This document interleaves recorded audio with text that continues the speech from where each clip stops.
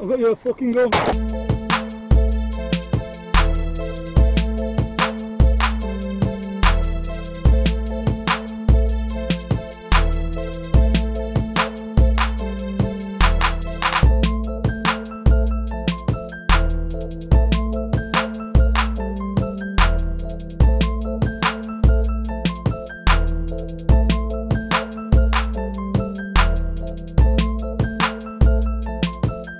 Thank you